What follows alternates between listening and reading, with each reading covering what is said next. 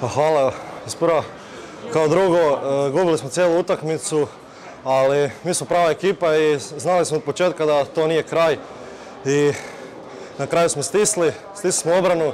Mandić je obranio par zicara s krila, to nas je diglo i zabili smo par napada za redom, što došli smo na iznenačenje. I čim smo poveli nismo više dali da oni odu u prednost. Šta je kažem, čudesna utakmica. Gubili smo bili, pa vam reći, skoro cijelu utakmicu, jedno zadnjih 20 minuta kad smo počeli igrati, kad smo jednostavno očepili, kako se kaže, i pošli igra pravi rukomet, u obrani smo stisli, iza smo pokupili, evo, ja sam pokupio tu par lopti, u napadu je išlo odlično i evo, na kraju krajeva, pobjedili smo i polufinale Hrvatske.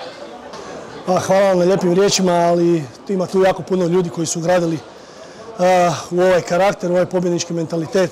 Tako da o tome ćemo nekom možda drugom prilikom, ali evo od srca bi čestitao dečkima na jednoj fantastičnoj utakmici.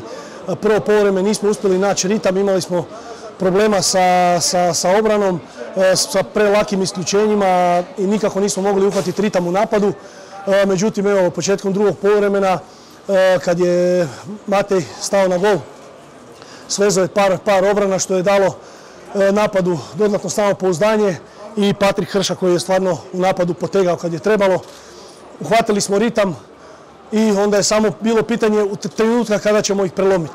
Uspjeli smo ih prelomiti negdje 7-8 minuta prije kraja i onda to naši dečki završavaju sigurno. Pa naravno da jesu kao i svaku utakmicu i nadamo se da će biti tako i do kraja. Pa, ajmo reći da jesmo, mislim imamo dobru komunikaciju, ja i on, tako da odlično surađujemo i ide, hvala Bogu, odlično. Nadam se da će tako i do kraja turnira biti. rekao sam im samo da ovih 30 minuta je možda najbitnijih u njihovim karijerama. E, I htio bih iskoristiti priliku samo da pozdravim sve dečke koji nisu s nama, oni znaju koji su to. I Stivija i Šolu i sve dečke koji su ozlijeđeni sad i jednom drugom prilikom ću ih imenovat, ali evo svaka čast i navijačima koji su nas bodrili i nadam se da će ih još više biti na polufinalu.